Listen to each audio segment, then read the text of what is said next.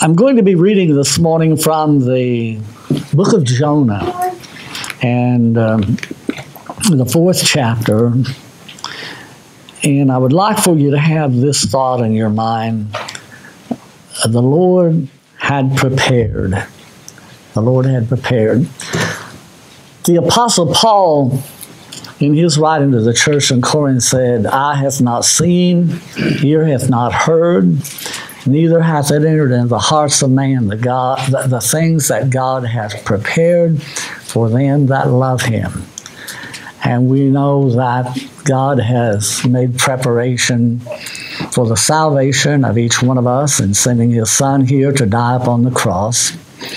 We also know that the Son, while he was here, said, uh, Let not your hearts be troubled. You believe in God, believe also in me. In my Father's house are many mansions. If it were not true, I would have told you. I go to prepare a place for you, that where I am, there you may be also. And so God has made a lot of preparations for us down over time. But the interesting one here is that. Uh, we're dealing we're dealing this morning with a guy who is uh, uh, stubborn. And he's rebellious. And he's not happy.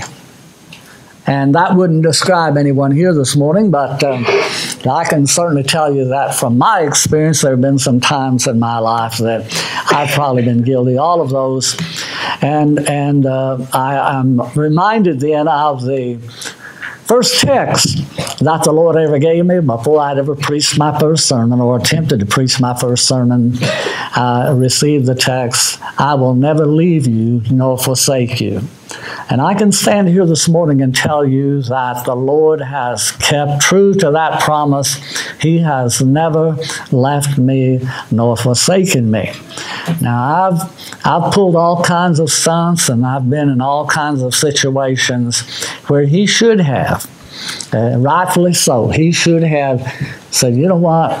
I've had all out of Kent Parson that I want to tolerate and, and written me off. But he never, ever has done that. And I'm thankful that he hasn't. You're all familiar with the, with the word of the Lord and Jonah and the, in the belly of the whale. Uh, I hope you're familiar with the prayer that he prayed. He was there, but but let me back up a little bit with that and just uh, give you again kind of the background on that. The Lord had come unto Jonah and spoken unto him and had said, "I want you to go down to the city of Nineveh and preach to those people, or say to those people." Uh, yet 40 days, and the city of Nineveh shall be overthrown. Now, I want you to do that. And, and of course, when the Lord spoke that unto Jonah, Jonah uh, made up his mind he was not going to do that. Um, every time the Lord speaks to us, obviously he has a reason in doing that and he has a purpose in mind for us doing it. But unfortunately, many times we choose not to listen to him. And we make up our minds that we're going to do what we want to do and not what he wants us to do. God is always very clear and very explicit about what he wants. Uh, one of the favorite things that people used to do to kind of cop out was to say, Well, I want to be sure it's the Lord. Well, you know, if you're a child of God, when the Lord is speaking to you, Jesus said, My sheep know my voice. We know the voice of the Lord. And it isn't a question then of whether or not we, we need to be sure. It's a question of whether or not we're going to heed what he says. It's kind of like Joyce was talking earlier here. You know, sometimes we hear, but we don't listen. One of the writers wrote and said, Be not only a hearer of the word, but also a doer of the word. For he that is a hearer and not a doer is like unto a man that beholdeth himself in a mirror. And when he is gone away, he straightway forgetteth what manner of man he is. There's not a single one of you here this morning know exactly how you look right now. You know how you looked when the last time you looked in the mirror and you know whether you got the hair straight or whether it's not straight, whether the makeup is on right or wrong, however. But there's been circumstances that have come along since then, so you don't really know. You think and you hope, but you're not real sure. And I find that all the time that that's that's the case. But but we need not only just be a hearer, but we also need to be a doer of the word. Anyway, the Lord spoke unto Jonah and said, I want you to go down there. And Jonah said, Well, I'm going to go, but I'm going to go the other direction. And so he bought him a ticket, went the opposite direction of where the Lord had instructed him to go. And, and you're very familiar, familiar with this portion of the word of the Lord. Whenever that he uh, got on board the ship, and after they put out to sea, why there was a storm came upon the sea, and and those men who were professional sailors, they did everything under the sun to save the ship. It was about to be broken up, and they started casting their cargo overboard. They, they their livelihood was going overboard, and Jonah, in the meantime, he's gone down in the belly of the ship and gone to sleep. He could have cared less about what was going on down there. And I'm going to tell you this morning that a child of God who's disobedient unto the Lord could care less about anyone else excepting themselves. That, that's all you get. You get caught up in this. And I want, I want you to listen in just a little bit here, and I'm going to tell you a little more about John, or John, Jonah's experience here. And I want you to know that sometimes so we may say, oh, you know, I still love everybody and I'm still love the Lord and everything. Whenever that we get disobedient unto the Lord, all we're thinking about is ourselves. And that's not a very good position to be in, I can assure you that. Jonah goes down, goes to sleep, and they're up here. They're doing everything they can under the sun to save the ship. And finally, they reach the point to where that they've decided, you know, we got to figure out what is going on. They go down, they wake Jonah up, and he acknowledges and he admits that he's the problem. And he says to them, You cast me overboard, just throw me overboard. And they do. And the Bible says, Now the Lord had prepared a great fish to swallow up Jonah, and Jonah was in the belly of the fish three days and three nights. So God had prepared a fish to swallow Jonah up. Now, somebody's going to say, well, you know, it doesn't say then it's a whale. I believe the Bible says in another place that Jonah was in the belly of the whale three days and three nights. So shall also the Son of Man be in the heart of the earth. Anyway, you, know, you can get into a big controversy over whether what, what, what it was, whether it was a big fish or whether it was a whale or what. It's, it, it's really immaterial to me. The, the point is, is that God had made preparation for what was going to happen to Jonah. And God knows every single one of your lives this morning. He knows exactly where you are in His walk and His work, in His service, and you're not fooling Him for a second. You may think you can fool me, but you're not fooling the Lord for a minute. He knows exactly where you are at all times. I tell people every once in a while, tell the church every once in a while, we sometimes need to stop and just take a good self examination of, uh, uh, of ourselves to see where we are in the eyes of the Lord. And if we're honest about it, we know where we are. God does not leave us in darkness as His children, we are in the light. Well, uh, Jonah, then, after he's thrown overboard and the fish swallows him up, he prays. He's still able to pray. I'm so thankful that every one of us, as a child of God, have the privilege of praying. And it is a privilege. We have the privilege to talk to the Lord. But let me tell you, along with the privilege comes some responsibility. And it is not only something that we're privileged to do, we, we desperately need to do probably more praying than what most of us do. But it also can be a very dangerous thing. And I think sometimes God's children lose sight of that, that, you know, many times we're asking God for things that we have no business asking for. And sometimes God gives us those things, and then we regret that we have asked them. God's done that all down through time. People are always praying, oh Lord, do this, Lord, help us here. And then probably the most common one is that when we get ourselves in a little bit of trouble, we try to negotiate with the Lord. We, we sometimes say, well, Lord, if you'll do this for me, I'll do this for you. Well, you don't need to think for a second that you're going to be able to be successful in negotiating with the Lord. His way is right. And it's always going to be right. And His will will be done. We just need to understand that. Well, if you remember finally that the, that the uh, prayer's over, the fish vomits Jonah upon the dry ground, and the word of the Lord comes to him again the second time and says, I want you to go down unto Nineveh, that great city, and preach unto it the preaching that I bid thee.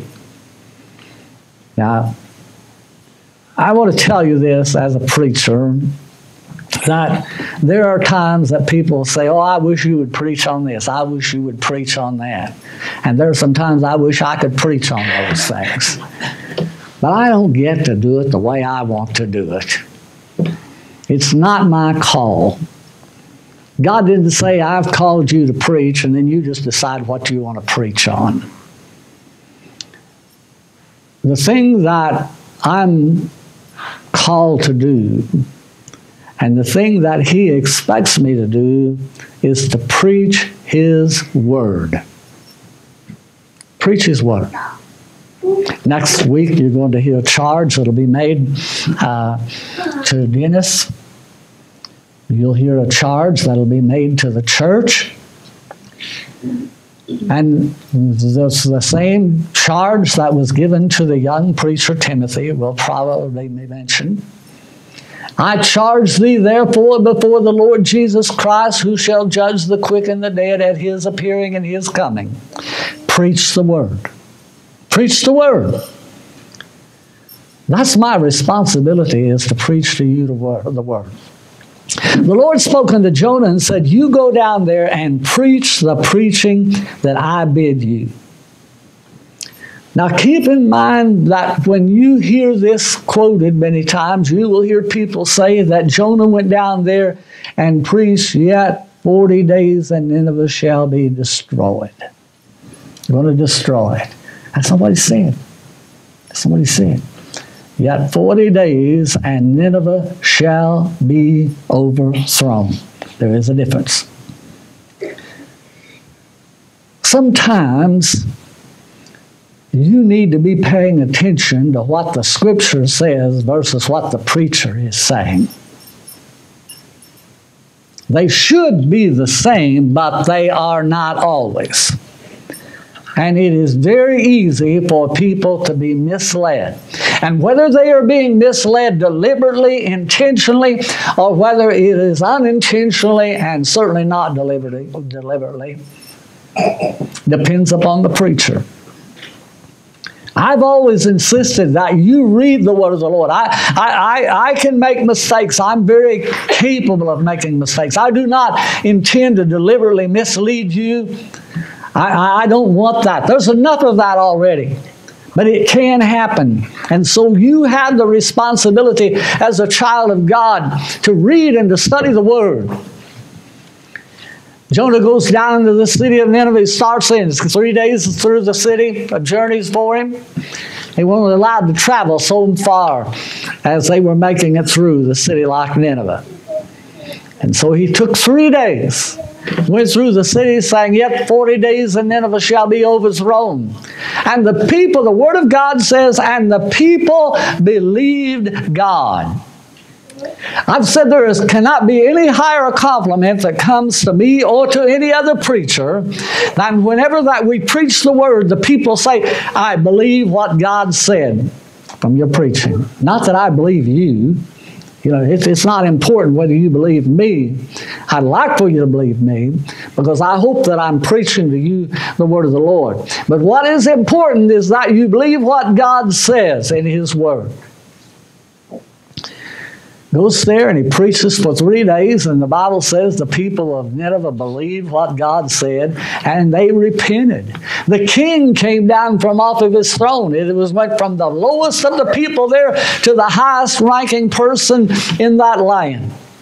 And he came down off of his throne and made a declaration that the people were to repent and they went into the sackcloth and prayed. And the Bible says, and God saw that they were sorry, they repented, and it repented the Lord of that which he said he would do. In other words, he changed his mind.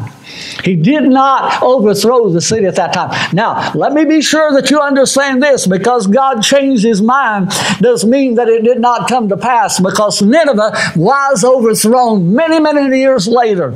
God's word was kept. He just didn't do it right then. Now, listen.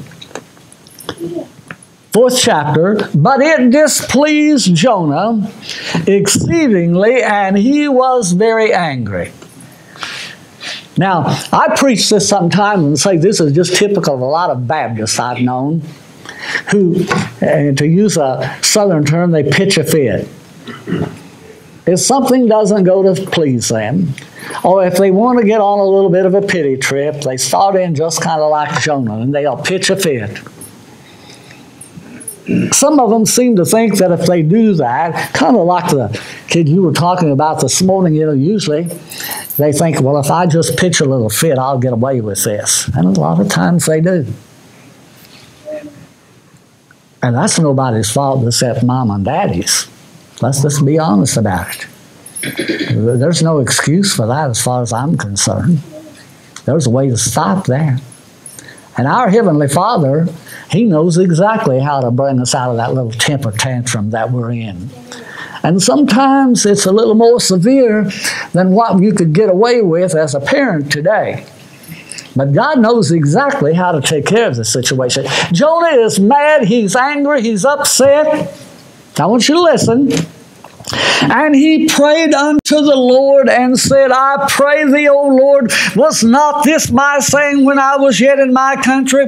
Therefore I fled before unto Tarshish, for I knew that thou art a gracious God and merciful, slow to anger and of great kindness, and repentest thee of the evil.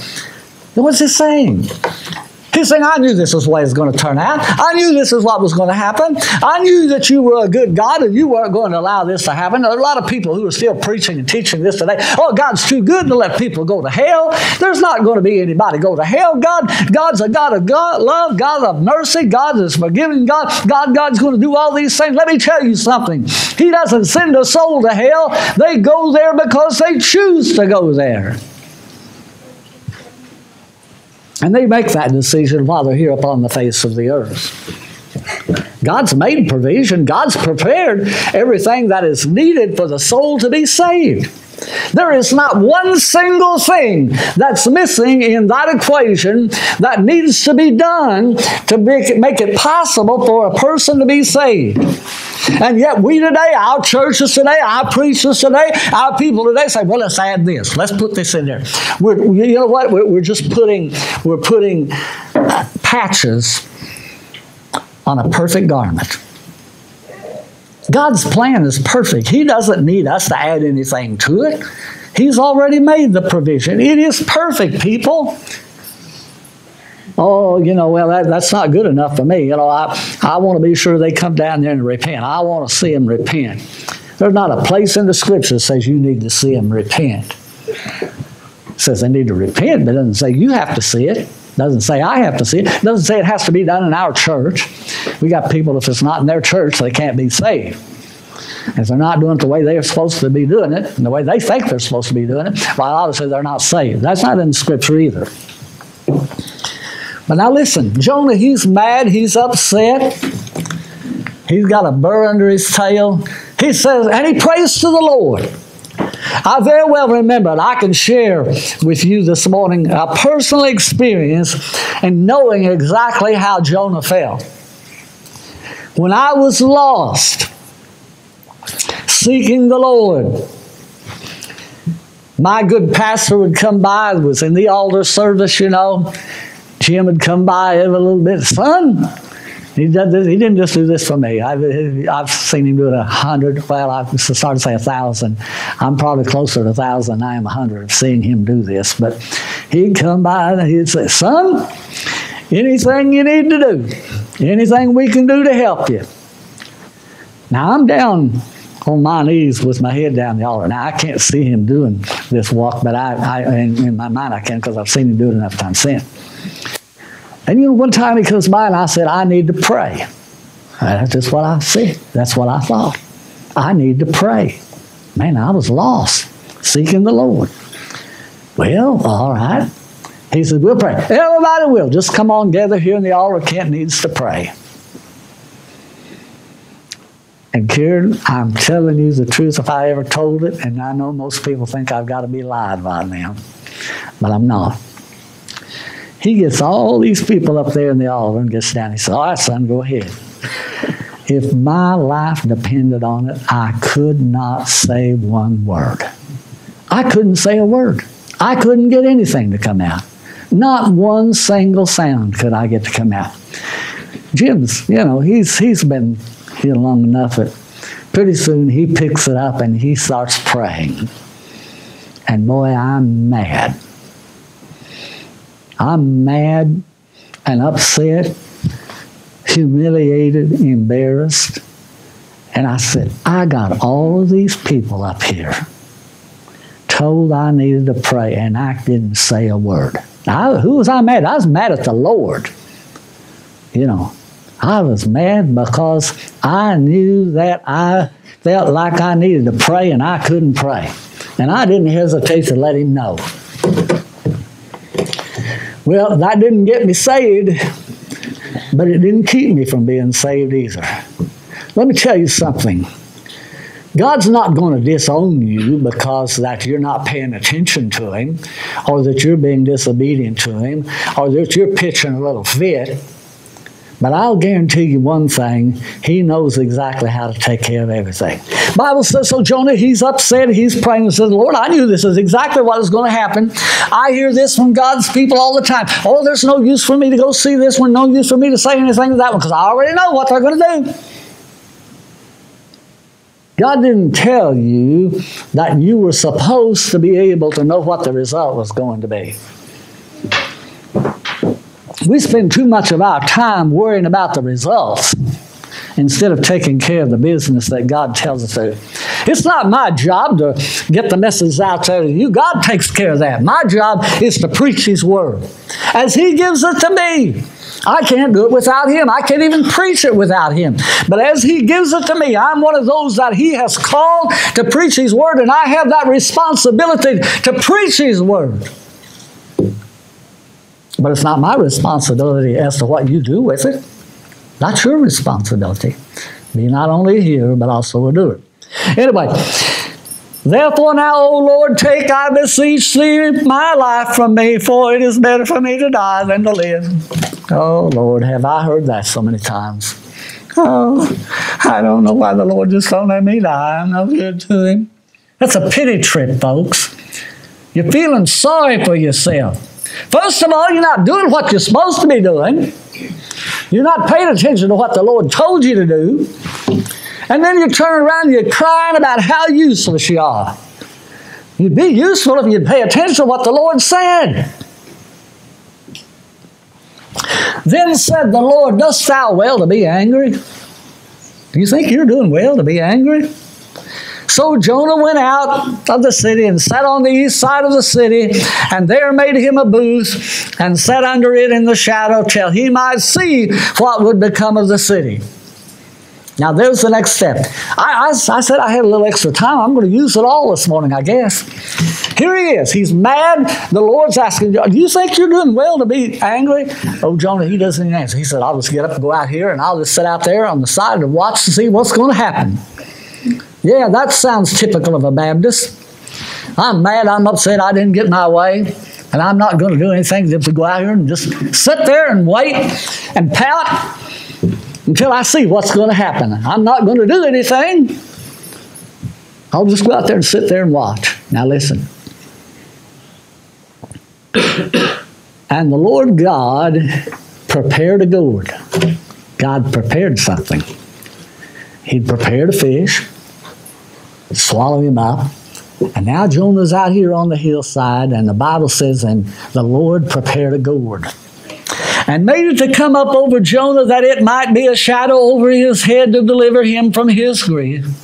So Jonah was exceeding glad of the gourd. I can just I can just see this in my mind's eye. Here he is, he's out here, he's all upset, and all of a sudden here comes this little useless good for nothing gourd vine coming up out of the ground that God had placed there. And as he looks at it, it's very similar to what Eve saw when she was in the Garden of Eden. The longer he watched that little gourd grow, the more attached to it he became. And he was so happy that this gourd vine had come up and was giving him some shade here. And he's so proud of that gourd. Oh man, I'm, I'm sure he must have cared very carefully for it. And he was so, it was so important to him that he's got this little gourd here right now. But now listen. But God prepared a worm. God prepared a worm. When the morning rose the next day, and it smote the gourd that it withered. I can relate to this. I, from time to time and year to year, plant tomato plants, only to go out one morning and find that the doggone tomato worms have taken care of all that work that I went to, and they can do it so quickly. By the Bible says that the Lord had prepared a worm. The Lord prepared the gourd. The Lord done this. Prepared then a worm that came up and chewed the vine and it withered. And it came to pass when the sun did arise that God prepared a vehement east wind. And the sun beat upon the head of Jonah that he fainted and wished himself to die and said, It is better for me to die than to live. Now then, the Lord, after the vine has died, the Lord prepares a, a, a wind that comes up and it's and Jonah's about to have now uh, we'd probably say a sunstroke today. He's all he said, just be better for me to die. Well then die. And that's what you would probably say today. Oh, just be better for me to die. Oh, Elijah said the same thing when Jezebel threatened to kill him. He said, Lord, just let me die. I've said a lot of times, well, why didn't he just stay there? Jezebel, Jezebel was going to accommodate him, but he ran for his life. Sometimes we say things and we don't know more mean them than anything under the sun. And God said to Jonah, Dost thou well to be angry for the gourd? And he said, I do well to be angry, even unto death. Yes, I do. I, I have a right to be angry about that little gourd that I just thought was so much of out there, you know. Man, he forgot that God had given him that gourd, had prepared it. But it was important to him. Then said the Lord, Thou hast had pity on the gourd, for the which thou hast not labored, neither madest it grow, which came up in a night and perished in a night. And should not I spare Nineveh, that great city wherein are more than six score thousand persons that cannot discern between their right hand and their left hand, and also much cattle? The Lord said to Jonah, You know what, Jonah? You've been so thoughtful and so conscientious and so faithful to that gourd that came up in a night and perished in a night. And yet, there are 12,000 people in that city that don't know their left from their right hand, and I spared them. And that gourd meant more to you than those people. Does you well to be angry? Let me tell you something in closing. You can have your little pity trip. You can have your little anger fit. You can be disobedient unto the voice of the Lord. But I'm going to guarantee you this one thing God's work will go on, His word will be carried out. And you have the choice as to whether you want to be a part of that being fulfilled or whether you want to be a hindrance to it. But let me assure you, God will get the job done. And if you don't want to do it, it's your call. You'll be the loser. You'll be the one who will suffer. But He will then get the job done. He's always got somebody that He can take to get it done.